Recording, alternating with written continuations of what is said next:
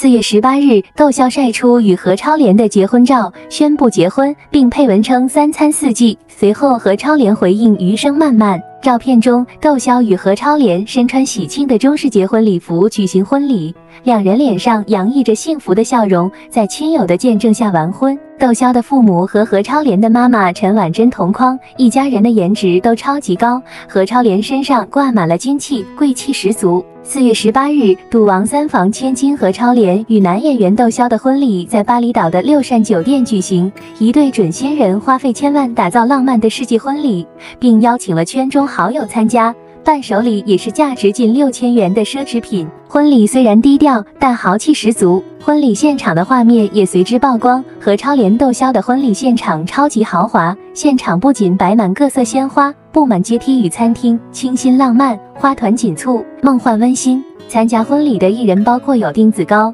孙耀威、陈美诗、张一山、直库仪等，可谓是星光熠熠。虽然两人已经提前前往婚礼地点打点婚礼事宜，采取了完备的安保措施，甚至请了上百位安保人员及印尼警方的配合来保护宾客安全及婚礼隐私。但婚礼还是被曝光。作为准新郎，窦骁亲力亲为在婚礼现场监督，与工作人员讨论婚礼场所的准备事宜。婚礼现场在六善酒店的无边际泳池边举行，摆满了鲜花饰品，布置挂有水晶灯，并有白色钢琴摆设。婚礼现场浪漫十足。何超莲与窦骁也为宾客准备了精心的伴手礼，礼盒上印有“窦骁爱何超莲”，都以二人肖像设计可爱公仔图案。礼物包有护肤品、化妆品、眼罩外，卡片写上“玲珑骰子安红豆，喜结连理共白头”。何超莲与窦骁的婚礼十分低调。据港媒报道，两人在双方家长的同意下，只邀请了朋友参加婚礼。婚礼结束后，两人再回香港宴请亲人。为迎接见证两人婚礼的宾客们，何超莲与窦骁在当地举行婚庆派对。何超莲穿上定制薄纱印花低胸晚装，戴着皇冠，犹如小公主一样。窦骁穿着 T 恤，两人男帅女靓，与宾客在户外举行派对，相当尽兴。何超莲是赌王何鸿燊和三太陈婉珍的女儿，因出众的外貌被称为赌王最美千金。